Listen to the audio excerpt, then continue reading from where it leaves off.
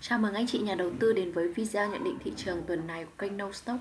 Video ngày hôm nay sẽ gồm hai phần chính. Thứ nhất là tổng kết và nhận định thị trường từ ngày 18 từ ngày 28 tháng 3 đến ngày 1 tháng 4.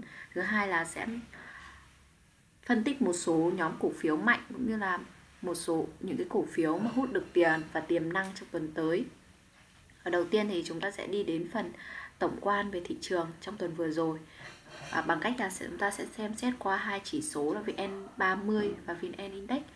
Đối với chỉ số VN Index thì tuần qua giao dịch chủ yếu có xu hướng giao dịch xung quanh cái mốc 1500 sau cây tăng điểm ngày thứ hai à, một phiên tăng điểm mạnh với ờ, tổng tăng điểm là 25,85 điểm tương ứng với 1,76% thì bốn phiên còn lại của tuần thì VN Index giao dịch uh, xung quanh mốc 1500 và vì uh, gặp lực bán Đối với ờ, VN30 thì lại có chiều hướng là yếu hơn so với VN Index. Khi mà sau cây tăng điểm ngày thứ hai cũng là một cây tăng điểm mạnh nhưng VN30 thì lại có dấu hiệu là quay đầu quay về một cái mốc hỗ trợ ở vùng 1492 nhìn chung thì trong tuần qua vì thị trường giao dịch tập trung của nhóm mid và penny uh, ờ, nhóm blue chip và nhóm trụ thì chưa hút được tiền mà cũng cũng như là cũng chưa có cái đà tăng mạnh. Mặc dù là đang giao dịch sideways ở mốc 1500 do gặp lực, áp lực bán ở cái vùng áp lực bán từ lượng hàng kẹp và áp lực của việc chốt lời từ những cổ, những nhà đầu tư mua được ở vùng đáy. Nhưng mà chúng ta cũng có thể thấy được cái sự tích cực ở đây là mặc dù là ba cây giảm điểm đỏ nhưng mà khối lượng của VN Index lại có chiều hướng giảm xuống, cho thấy là cái lực bán ở cái vùng này cũng đang dần ít lại trong tuần tới thì khả năng VN Index sẽ tiếp tục giao dịch sideways ở mốc 1500 để tiếp tục hấp thụ lượng hạng kẹp cũng như là lượng chốt lời hoặc là trường hợp xấu hơn thì VN Index có thể quay về test lại cái vùng 1480 để à, để kiểm nghiệm xem cái lực cung hàng ở cái vùng này như thế nào.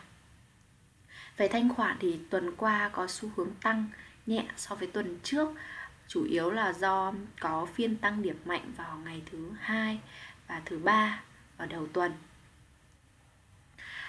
Kịch bản thì VN Index sẽ tiếp tục sideways hoặc là có những cái phiên rũ bỏ. Tuy nhiên là à, có thể thấy được là cái nội tại của thị trường trong những cái phiên gần đây thì đang tốt hơn khi mà lượng các mã cổ phiếu vượt đỉnh đang có xu hướng có đang có xu hướng tăng dần. Ở cái phiên thứ sáu kết phiên ngày hôm thứ sáu cuối tuần trước, thì số lượng mã tăng là 231 mã và số lượng mã giảm là 211 mã. Cho thấy là cái lượng cổ phiếu, cái số cổ phiếu có cái tăng, có có có đóng cửa xanh đang lớn hơn so với những cổ phiếu mà giảm điểm đỏ và lực bán là các cổ phiếu này cũng đang có xu hướng giảm dần. Tính từ ờ, phiên ngày 2 15 tháng 3 đến giờ thì VN Index đã có gần 2 tuần tăng ở có cái chiều hướng tăng điểm. Tuy nhiên là vì vậy là khi mà đến, khi mà tiếp cận cái vùng kháng cự ở 1500 cái vùng trước đây đang bị kẹp hàng rất nhiều, thì cái việc xuất hiện lực bán là điều tất nhiên. Và để VN Index có thể tiếp tục tăng tiếp, thì cần có sự tích lũy lại để hấp thụ cũng như là phân hóa dòng tiền để tìm được những cổ phiếu dẫn dắt. Trong hai tuần gần đây thì à, dòng tiền chủ yếu vào nhóm xây dựng vật liệu và bất động sản.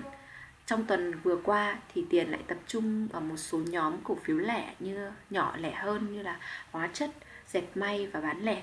Và chúng ta sẽ đi sang phần 2 là review qua một số nhóm cổ phiếu cũng như uh, một số nhóm ngành hút được tiền và tiềm năng trong tuần tới để chúng ta có thể đưa ra những cái tìm được những cổ phiếu tiềm năng trong cái giai đoạn này.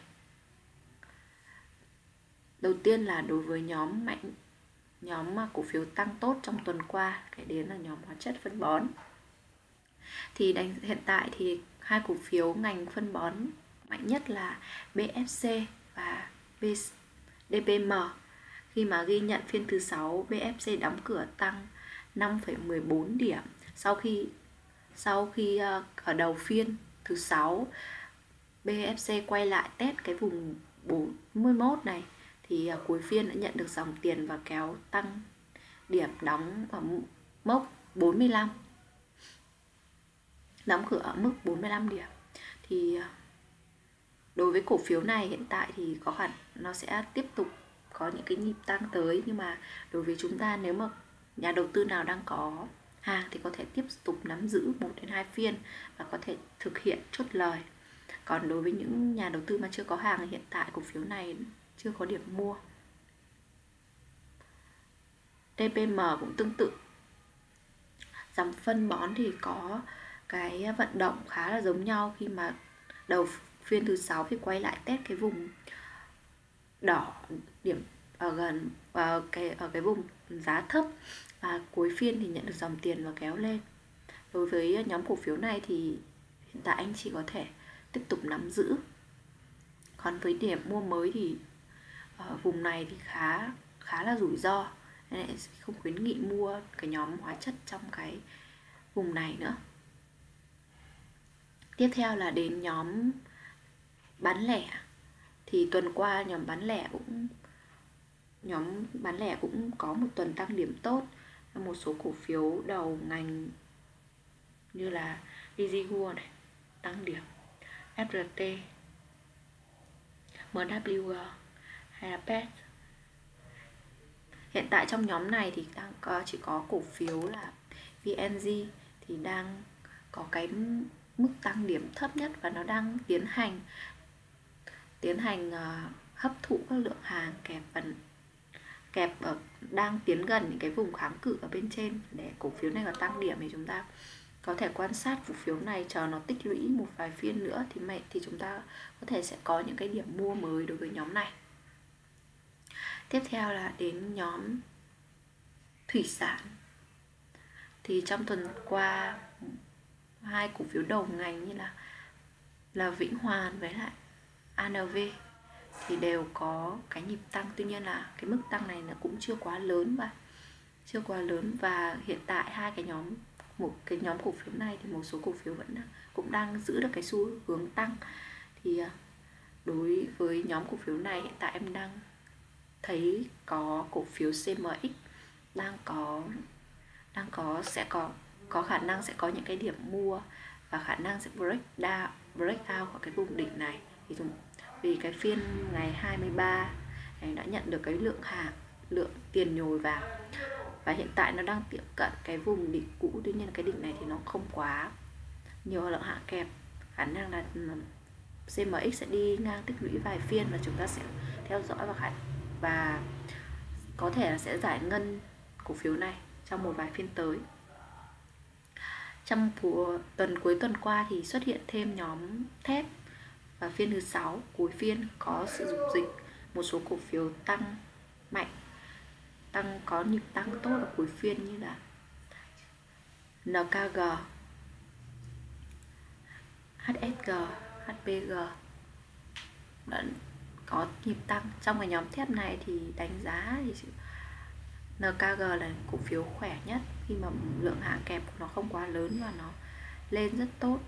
Khi mà cả cái nhịp rơi trước thì nó cũng chỉ quanh về cái ờ, đường MA20 ờ, đã có xu hướng bật lên rồi. Thì đối với cổ phiếu này thì có thể xem xét và chúng ta có thể sẽ có thể tham gia vào một vài phiên tới nếu mà nó vẫn duy trì tốt ở trên cái mốc MA20 à, hai nhóm cổ phiếu lớn đó là bất động sản với lại xây dựng vật liệu mặc dù bất động sản tuần, hai tuần gần đây vẫn hút được tiền, nhưng mà hiện tại thì em vẫn chưa thấy có những cái cổ phiếu nào mà mình có mình có thể là tham gia. Thì nhóm này chúng ta sẽ, ngoài những cổ phiếu mà tăng nóng như là ASM thì những cổ phiếu khác vẫn đang ở trong cái nền tích lũy. Hiện tại nhóm này chúng ta sẽ tiếp tục theo dõi chứ cũng chưa có nhiều cổ phiếu có thể tham gia. Thì ờ, nếu mà vẫn muốn tham gia cái cổ phiếu thuộc ngành bất động sản thì có thể xem xét một số cổ phiếu như là đất xanh.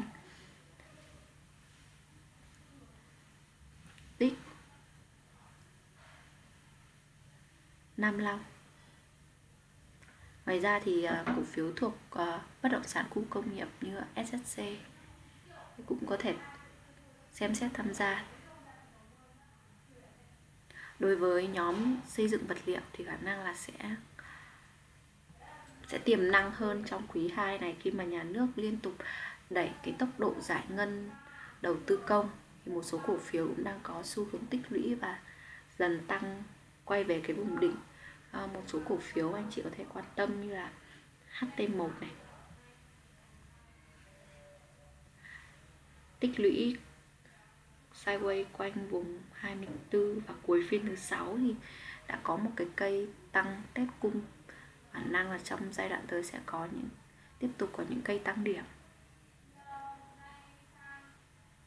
HTN đây là cổ, cũng đang là cổ phiếu khỏe đang tích lũy ở vùng đỉnh nó sẽ có một vài phiên tích lũy nữa thì chúng ta sẽ theo dõi cái trạng thái của nó và có thể tham gia giải ngân trong một vài phiên tới đối với ờ, nhóm cổ phiếu ngân hàng hay là chứng khoán thì hiện tại đánh giá là chưa có nhiều cơ hội và hầu hết những cổ phiếu thuộc cái nhóm ngành này thì đang tích lũy ở quanh vùng đáy. Cả cần phải có thêm rất là nhiều, có thêm nhiều phiên nữa để tích lũy, hấp thụ lượng hàng vùng đáy này trước khi mà bật lên. Hiện tại thì nhóm ngân hàng thì có cổ phiếu BIDV EIB là hai cổ phiếu mà khỏe trong ngành. Đối với nhóm cổ phiếu chứng khoán thì ờ, trạng thái thì cũng tương tự như là nhóm ngân hàng. Hầu hết thì đang tích lũy chứ chưa chưa có dòng tiền vào. Ở cái nhóm cổ phiếu này hiện tại thì có hai cổ phiếu là ORS đang có xu hướng đi lên và cổ phiếu FIX là cổ phiếu nằm trên MA20 và cái phiên ngày 23 đã cũng nhận được cái lượng tiền. Thế nên đó, nếu mà cái nhóm cổ phiếu hai cổ nhóm ngân hàng nhóm chứng khoán nhận được dòng tiền và tăng thì khả năng sẽ là hai cổ phiếu ORS và VIX sẽ là hai cổ phiếu mà có khả năng chạy tốt nhất.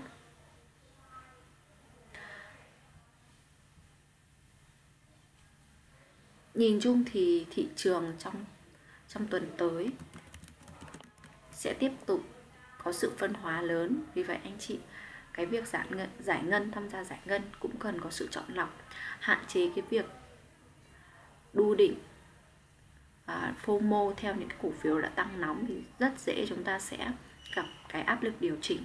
Và nếu mà giải ngân trong cái nhịp này tập trung vào những cái cổ phiếu đã có cái sự tích lũy và đang có xu hướng đi lên cũng như là hút được dòng tiền à, video nhận định thị trường ngày hôm nay của kênh No Stop đến đây là kết thúc. Cảm ơn anh chị đã theo dõi.